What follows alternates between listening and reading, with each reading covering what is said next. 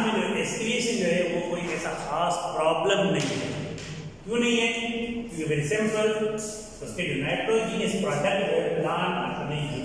करता है लिए प्रोटीन बनाने के लिए और न्यूक्लिक बनाने के लिए अपने नाइट्रोजीनियस प्रोडक्ट को रीयूज कर देता है।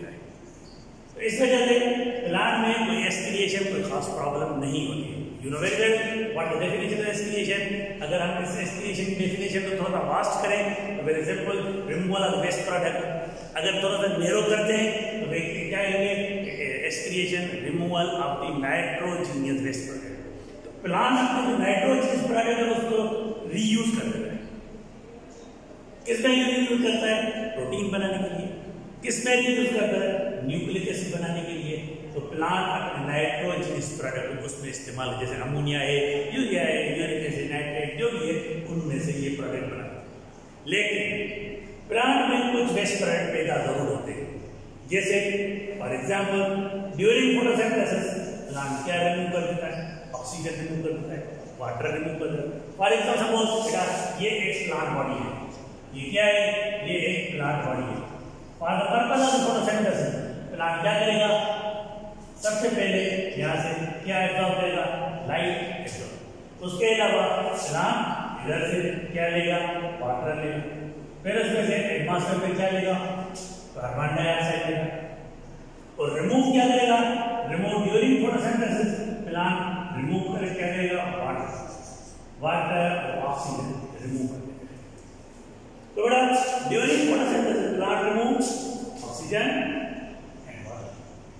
ये उसका फोटोसिंथेसिस में ये उसके वेस्ट प्रोडक्ट है ड्यूरिंग रेस्पिरेशन प्लांट को कार्बन डाइऑक्साइड वाटर रेस्पिरेशन के दौरान प्लांट क्या लेगा ऑक्सीजन इंटर करेगा और कार्बन डाइऑक्साइड रिमूव करेगा इस वजह से प्लांट जो है कार्बन डाइऑक्साइड और वाटर जो है वो रिमूव करता है रेस्पिरेशन उसके अलावा प्लांट में जो ऑफ़ वाटर है वो रिमूव होता है। किस प्रोसेस के ज़रिए ट्रांसपायरेशन और ज़रिए किस प्रोसेस के ज़रिए बेटा ट्रांसपायरेशन लाइक सपोज़ ये प्लांट बॉडी है, इसमें से वाटर एवापोरेट फॉर्म में वेपर फॉर्म में अगर एवापोरेट हो जाए, उस प्रोसेस को कहते हैं?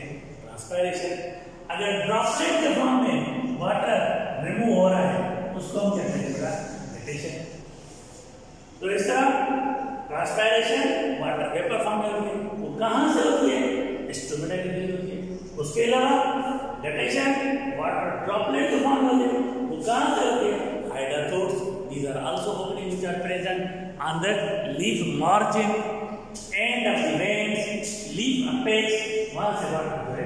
वो ड्रॉपलेट के फॉर्म में रिमूव होता है। उस प्रोसेस को हम कहेंगे गटेशन और गटेशन मोस्टली रात को होती है। और ट्रांसपायरेशन मोस्टली जो है वो दिन को होती है और एवापोरेशन हमारा from the air particle body it is called transpiration removal of water in the droplet form from hydathodes that is called guttation उसके अलावा, प्लांट में बहुत सारे मिनरल जो है, वो डिपॉजिट होते हैं सेंटर में डिपॉजिट होते जाते हैं।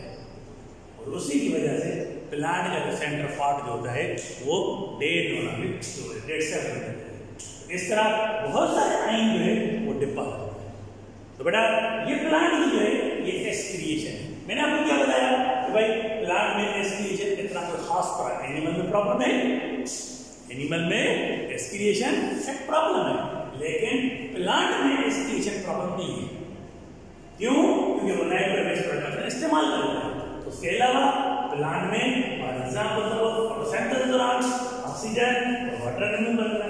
रेस्पिरेशन के दौरान कार्बन डाइऑक्साइड वाटर रिमूव करता है। उसके अलावा एक्सीजन वाटर जो है प्लांट बॉडी इवापोरेट कर देता है एयर पार्टिकल बॉडी से इस प्रोसेस को क्या कहेंगे ट्रांसपायरेशन अगर ड्रॉपलेट के फॉर्म में पानी गिर रहा है तो उसको क्या कहेंगे बेटा रोटेशन उसके अलावा बहुत सारे मिनरल जो है प्लांट के सेंट्रल पार्ट में डिपॉजिट होते जाते हैं उस वजह से प्लांट का जो सेंटर रीजन होता है वो डेड होता जाता है तो ये एक एक्सक्रीशन है तो बेटा नेक्स्ट टाइम डिस्कस अबाउट अब ये नेक्स्ट टाइम जो है हम आपको थर्मोरेगुलेशन एंड प्लांट पढ़ेंगे बनाएँगे ओके